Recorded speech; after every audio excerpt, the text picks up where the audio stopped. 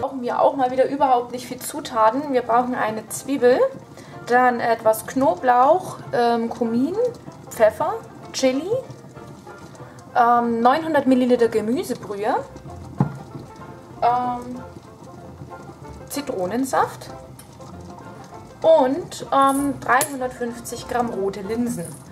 Und ähm, das ist ein super einfaches Rezept, deswegen liebe ich es so gern. Ähm, liebe ich so sehr. Und zwar ähm, gebe ich jetzt hier in diesen Topf einfach die Zwiebeln. Chili. Kommt auch noch dazu. Die Gewürze kommen später. Ähm, die roten Linsen. Und ähm, die Gemüsebrühe. Das schalte ich einfach ein. Lass das, ähm, bring das erstmal zum Kochen und lass das so ähm, 25 bis 30 Minuten köcheln. Ähm, so, erstmal Herd ein. Erstmal Herd ein. Und das, und das war es nämlich dann schon fast. Ähm, das wird einfach nur eine türkische Linsensuppe.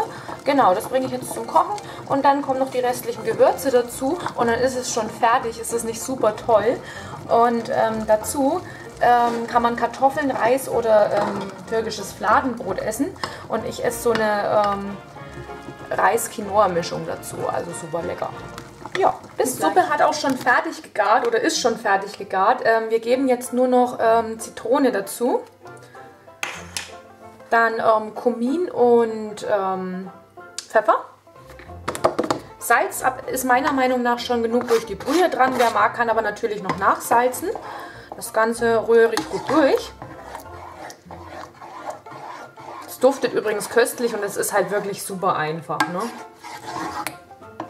Das ist meine Suppe. Ja, und wer mag, ähm, isst die Suppe jetzt einfach so ähm, mit ähm, Fladenbrot oder eben mit Kartoffeln oder wie in meinem Fall ähm, gibt es einfach